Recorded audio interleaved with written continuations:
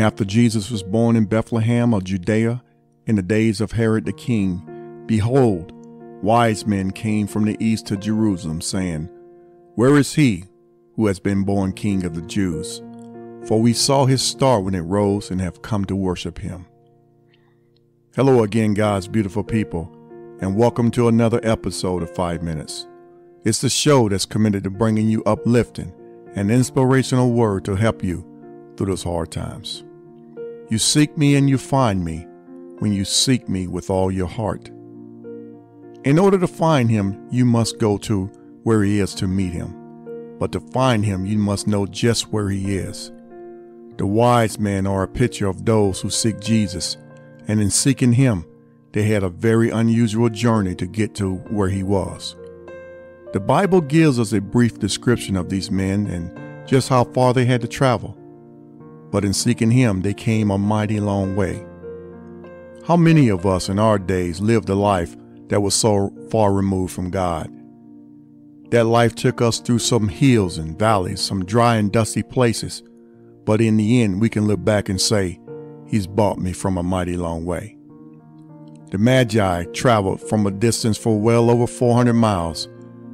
And just to give you an idea of just how, how far and how long it took them, they traveled only by night because that was the only way they could see the star. They were on a journey that would change their lives forever. I mentioned that in order to find Jesus, you must know where he is to get to him. Blind Bartimaeus knew the road that Jesus was going to pass by, so he positioned himself to meet the King of Kings. So, the first thing that we must do, we must know just where he is. This is a question that everyone who is seeking Jesus needs to ask himself Where can I go to find him?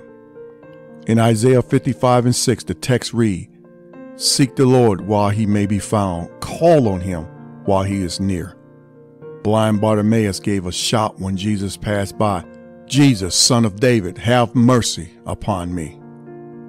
God will meet the needs of anyone who faithfully searches and does all that he can to find him. The wise man searched diligently until they found him. The person who refuses to give up will find the true rest they're looking for. Wise men seek to know him, not just to know about him, but to know him in a personal way. They seek to know that He is the real, true, and living God. The next thing that we need to do is that we need to know just what to look for. The wise men had the star to lead and guide them on their travels that probably took them through different towns and cities. They went through dry and dusty lands, as we know that the desert is known for that. And then on top of that, they didn't have a map or a compass to, to guide them, but they relied on the star, on his star to lead them. The light of Christ brings men from out of the darkness and into his marvelous light. And as he said time and time again, I am the light of the world, and whoever follows me will never walk in darkness, but will have the light of life. The wise men could only travel at night in order to follow this star, and they knew just what they were looking for, and they followed it straight to where he was. He was in the world, and the world knew him not. The determination of the wise men is a clear illustration of overcoming the blindness of the world. They saw the sign and they went seeking. A wise man is one who seeks after the King of Kings. We seek to worship Christ and Him alone and not anything or anyone else.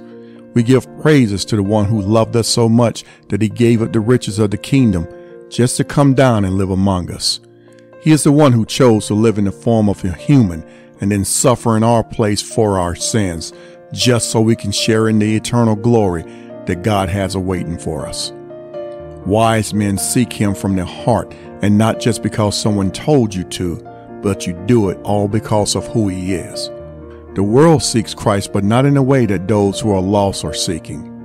They seek Him for personal gain and they want to use Him to gain favor for holiday sales. The world seeks him because they want to change his image into that of something that is made by human hands. But he cannot be made up, and as it is, he is the one who made us and not we ourselves. Whenever you mention the name of Jesus, people get disturbed because they do not want to know him for who he is, the Savior. They want to control him. and are unwilling to humble themselves before him. To the little King Herod, the birth of Christ troubled his heart so deeply that he wanted to kill him. The world seeks Christ to place blame on him when things don't go their way or just when they want to get him out of the picture. The message of the gospel is plain and true. We seek Christ to have purpose for life. We seek him at all costs. Wise men humble themselves and leave behind their former lives just to follow him. Knowing the scriptures is not enough to bring one to an authentic worship of Christ.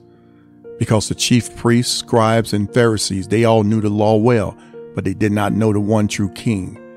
They understood the prophecies that were spoken long ago, but unlike the wise men, they did not come to worship him. Wise men still seek him. Well, that's my time. I pray that you all have a blessed week. When they saw the star, they rejoiced with exceeding great joy. One love, five minutes.